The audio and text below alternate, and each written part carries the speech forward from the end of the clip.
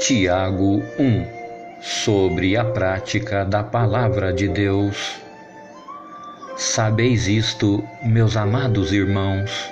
mas todo o homem seja pronto para ouvir, tardio para falar, tardio para se irar, porque a ira do homem não opera a justiça de Deus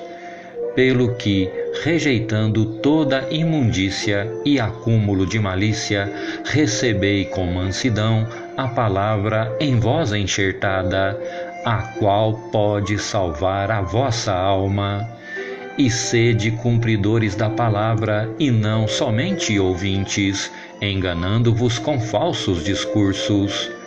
porque se alguém é ouvinte da palavra e não cumpridor, é semelhante ao varão que contempla ao espelho o seu rosto natural, porque se contempla a si mesmo e foi-se, e logo se esqueceu de como era. Aquele, porém, que atenta bem para a lei perfeita da liberdade e nisso persevera, não sendo ouvinte esquecido, mas fazedor da obra, este tal será bem-aventurado no seu feito. Se alguém entre vós cuida ser religioso e não refreia a sua língua, antes engana o seu coração, a religião desse é vã